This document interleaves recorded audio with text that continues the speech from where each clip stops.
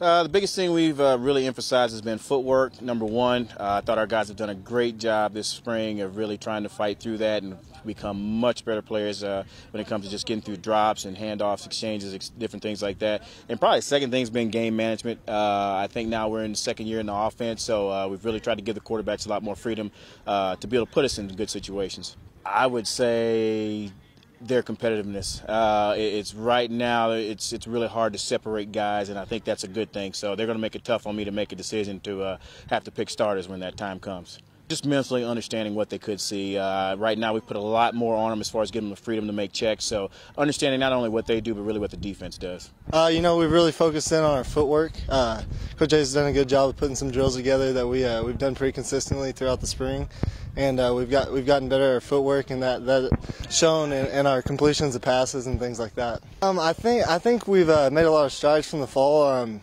in, our, in, our, in, the middle side of, of the game, we're making a lot more checks uh, coaches have given us a lot more uh, ability to change the play, make audibles, and things like that. So I think that's the biggest thing.